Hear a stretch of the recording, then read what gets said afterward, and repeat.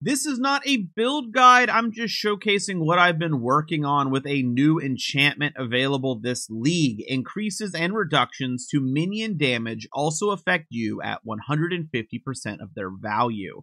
I rolled this synthesized bow by chance that gave 3% attack speed and minions deal 12% increased damage on a synthesized short bow, and it is item level 86. So I did some quick rolling with the currency I had, and I ended up with this bow here that has minions deal 133% increased damage. Now, what does this mean for the actual numbers? The implicit gives me 18% increased damage, and this explicit actually gives me, even though it's not near max, gives me 199 increased damage. So the bow alone is right now giving me 217% increased damage. It's pretty nice. Now, for the ring, I decided to actually go and try a mirrored bone ring. I could definitely get a better one here, but as you can see, I have some decent life. I have minion damage, and I have a bunch of other negative minion stats that don't matter, and I don't know why the maximum energy shield doesn't set me to zero. If I take this off and you look in the lower left, which is why I'm not using a camera right now,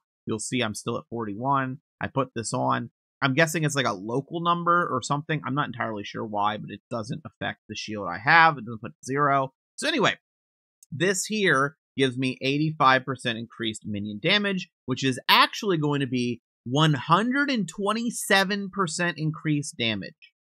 That is significant. But I'm also getting a little more minion damage elsewhere. I grabbed a Fortress Covenant. And this has all these possible negative things that could happen if I have notable passives, which I, I don't. But you can see here that minions deal 43% increased damage on this build, this is 64% increased damage with a single point on the tree, which is pretty, pretty nice. Now, how am I planning to improve? Well, definitely I can get some better gloves. I need to replace these anyway, and I can get minion damage on the gloves. I think I can get 30% minion damage, which is actually 40% minion damage if I decide to go for that. And I'm not sure where else to go with this, to be honest. I definitely could improve this bow. This bow is just something I slapped together with the amount of currency I had, which wasn't much. Um, the only other interesting things on this build is I really like this body armor. I made this in the synthesis, the the recombinator before uh, the changes, which is pretty nice. And I have this helmet here. It just gives me enough accuracy that I don't have to run precision. Uh, and it has some decent, you know, numbers here as well. Got again really lucky on a recombinator. That's what happened here.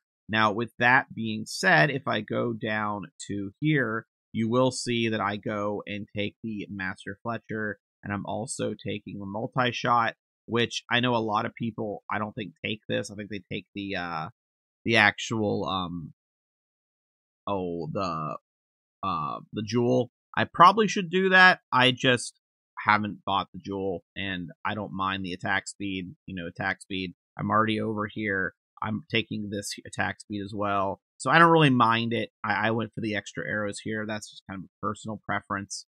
Um, now, my amulet does have uh, two implicits as well. Definitely could do a better amulet, just a basic plus two that I crafted.